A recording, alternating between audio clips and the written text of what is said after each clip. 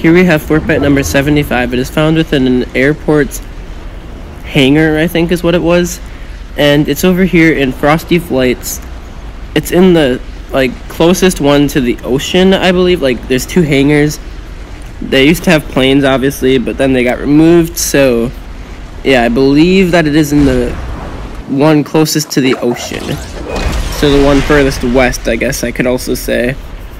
Um yeah, I guess I would just have to check it, find it right here.